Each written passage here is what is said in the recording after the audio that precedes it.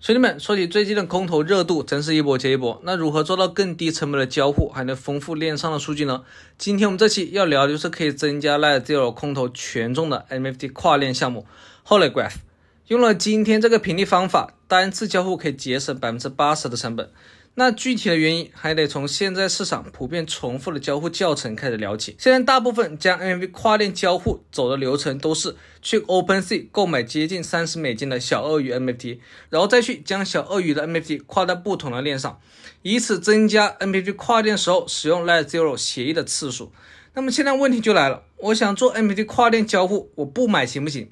答案是行。先说交互逻辑，我们利用 Holy Graph 分别在 Gas D 的链。Polygon 和 Avalanche 上面部署合约，并且 mint MFT，然后把 MFT 从 Polygon 转到 Avalanche 即可，省去了购买小鳄鱼 MFT 的成本，可以多吃两碗猪脚饭，非常的香。那开始教之前，我们还是按照惯例一起来看一下 Holograph 的文档，有哪些关键的信息是必须要了解的，从而更加轻松的读懂他们做项目的意义是什么。目前他们正在做的事情就是跨链 MFT 平台。在二零二二年四月的时候，他们完成了种子轮六百五十万美元的融资，参投的机构有 Infinity Ventures。那当我点开机构看成员都有谁时，哎，我发现有个熟悉的面孔，有没有？曲怪先生也是机构成员之一。在过去一年里，他们参投了三十五轮，历史领投了十一次，主要投资游戏占比比较多。那 Infinity Ventures 从从资列表中我们还可以看到，Holograph 是还没有发币的，虽然说。暂时还没有什么发币的预期，而且赛道比较小众，但乘着这 Layer Zero 的交互东风，说不定有一丝丝希望。所以今天的交互也算是一鱼两吃了。目前项目最新的进展是在一月的时候上线了主网。那据数据显示，在三个月内来这里部署的已经超过有七万个 NFT。那我们废话也不多说，来看一下是怎么交互的。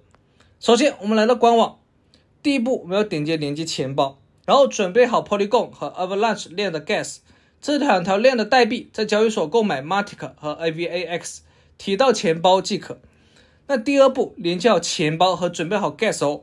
我们网络要选择好 Polygon。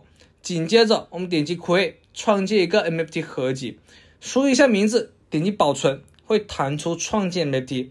我们这一步需要上传一张图片，我们这里任意上传一张图形，比如说我这里就上传我的自拍照，名字加 MFT，描述也填好。再点击保存，这时候 NFT 的合集就创建好了。那来到第三步，我们需要把它部署到 Polygon 上。我们点击部署，会弹出钱包的签名。这里我们需要支付一笔 Gas 费。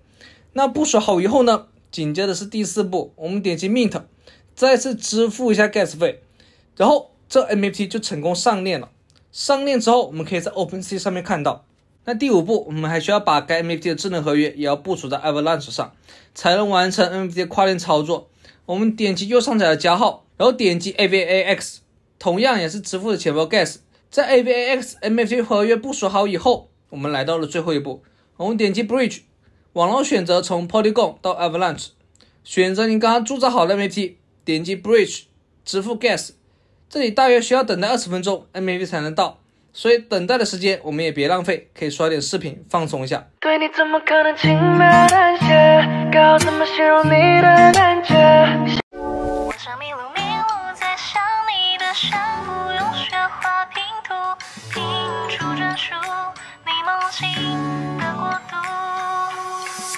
好，那视频刷完，MVP 也成功跨链了，同时交互了 Holograph 和 Layer Zero 协议。用的时候这里有几个小 Tips。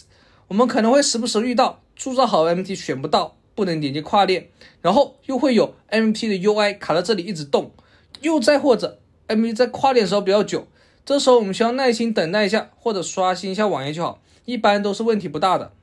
那成功跨链之后，我们点击区块浏览器可以查看合约的情况，我们可以看到这 MT 智能合约是同一个，我们刚刚操作只是把 MT 的合约部署在了兼容 EVN 的链上。因为很多时候用户不去看链上数据的话，大多是无感的。就像小鳄鱼的 MT，你看到有很多人买，买了去跨链，可能跨到了 OP、Arbitrum 和 Matic，他们都是同一个智能合约地址，只不过在不同的链上。而且因为跨链，每条链上的数量还不一样，所以在 OpenSea 我们把小鳄鱼的合约复制过来，会看到不同链的 VD，。像是在 OP 上面，MT 就有一万八千个。阿比床上面有六千四百个。如果我们再仔细看的话，小雨这里其实有个彩蛋，那就是看他手上的枪，你在 IP 床上面它是青蓝色，OP 上面枪是红色。所以，那总的来说，我们可以通过链上的数据，又或者像是 DBAN 这种链上的工具来查看你刚才做的交互操作。我们刚才交互操作是有用到 Layer Zero 协议的，做完是可以增加链上的记录的。但就像我刚刚所说的，很多时候用户是无感的。如果你不去看的话，感觉哎，这跨一下，这弄一下，感觉很简单。主要还是项目把路铺平了，我们才好走的。想要再仔细的了解 MPT 跨链，首先我们还得补充一个概念，就是 Web 包装的概念。举个例子。WBTC 如何理解？就是现在区块链已经是百花齐放的状态，BTC 的链和以太坊它是不兼容的。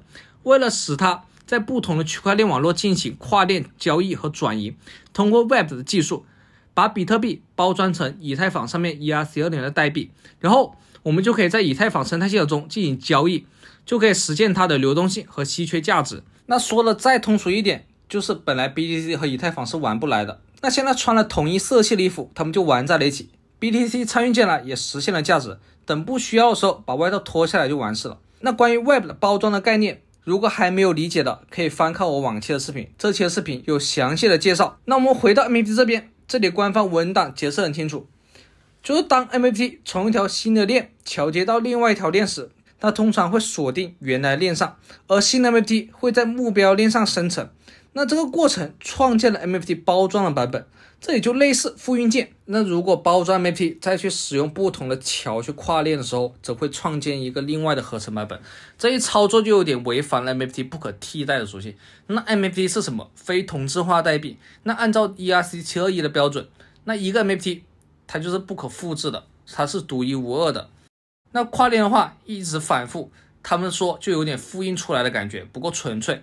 而 Holograph 它的建立就是为了解决包装 MPT 的问题，它使 MPT 能够跨链传输，同时保持数据的完整性。那看完文段，说一下我对这个项目的评价。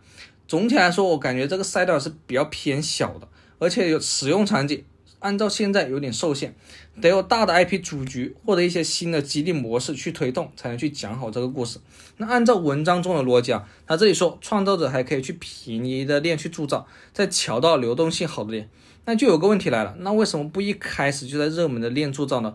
那即使说以太坊现在 gas 比较高，那现在这么多二层，比如说 OP 啊、二 B 床，完全就可以去二层里面铸造。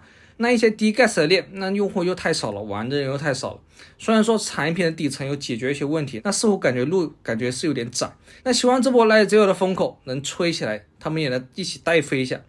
那好的，那这期的视频最后我再附上交互 Layer Zero 各种协议和 Gas 的消耗。那表格的链接我就放到了视频介绍里面，主要是这个表格里面主要是一些必做的协议，比如说在 Layer Zero 官网有提到了一些跨链桥啊，像是 Apple 跨链桥、BTC 点 B 的跨链，还有一些测试网的使用。